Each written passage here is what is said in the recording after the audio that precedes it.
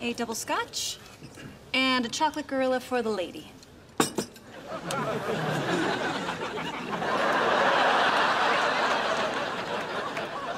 Oh, come on. What, what were you gonna tell us?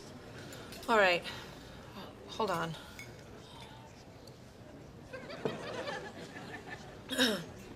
Do you? Hold on.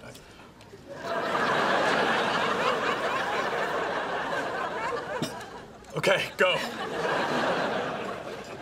Do you remember when Ethan Haas had that party? The night Richie ran me over? Oh, yeah, right. So you remember.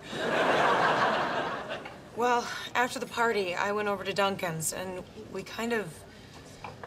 No. What? They what? No! Yeah. I can't believe you told me that. I I have to work with him, and I'm gonna know this. And he's gonna know I know. How is he gonna know? Because I'm gonna tell him.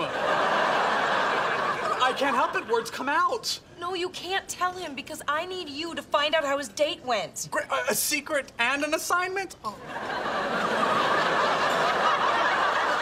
No, just the basics. Was it good? Was it bad? Did they sleep together? I have to find out if they slept. You can ask him. It's, it's, it's guy talk. You're a guy. I am a guy.